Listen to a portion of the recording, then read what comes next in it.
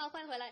前面我们说到了煤炭大省山西呢，正在推行一项据说是全国最大规模的企业重组，一大批煤老板呢，也许就将此告别这个行业了。有媒体甚至报道说呢，山西再无煤老板。嗯，而且在刚才节目中，我们也提到了这样一个数字啊，就是根据山西省的安排呢，这次山西的两千五百九十八座矿井啊，也就是所有的矿井将会通过这个兼并重组，到明年呢要压缩到一千座，组建三个亿吨级、四个五千万吨级的大型煤炭企业集团。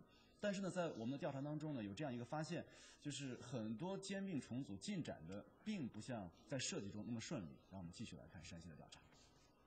在左云县采访翔宇公司董事长贾凤祥时，记者注意到，贾凤祥专门摘录了一段温家宝总理关于发展民营经济的讲话，总是随时带在身上。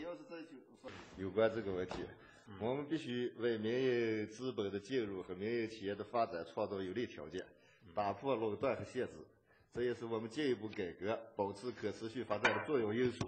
嗯，温家宝在什么什么场合的有有啊？好好好像就是那个有关民营民营企业的座谈会上面说的吧，而且呃，他有关这些讲过好好多次。贾凤祥告诉记者，对于资源整合，他能够理解。但对一点始终无法接受，那就是整合只能与指定的国有企业进行，并且自己只能是出售或者是参股。在左云县煤监局，记者了解到，当地全部煤矿都由同煤集团、山西煤炭运销集团、山西煤炭进出口集团兼并重组，管理部门分别为这三家集团划定了整合区域。我们三左右全部是利用的，依靠那二十三号文件，引引进三大集团。这就是何文善所说的二十三号文件，也是这次整合的主要政策依据。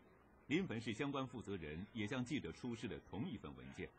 煤炭工业局局长牛立东说：“根据山西省规定，这次整合只能由山西焦煤、阳泉煤业、六安矿业、晋城无烟煤矿业、红煤集团、山西煤炭运销集团、山西煤炭进出口集团七家国有企业作为主体，并且基本划定了整合区域。”基层管理部门只能负责执行。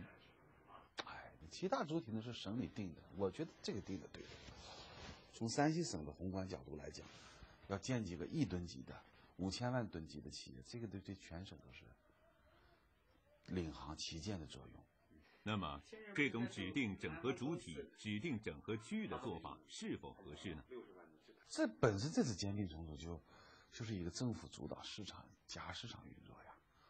如果要是纯粹这种市场运作了，也很难想象结局是个啥。那么，作为联姻的另一方，负责整合的国有煤炭企业又是什么态度呢？在练组前的煤矿采访时，记者遇到了代表山西焦煤集团来谈判的工作人员，他们透露，这次山西焦煤负责整合八十多家煤矿。有的话就是不好，你也得去整；不好也得去整，为什么呢？这个。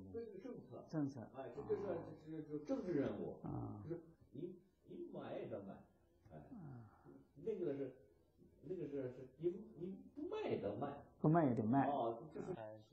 记者在调查中还了解到，此次整合补偿评估分三部分：固定资产如地面建筑、矿井设备投入等，已缴纳矿山资源费的补偿返还；其他损失补偿。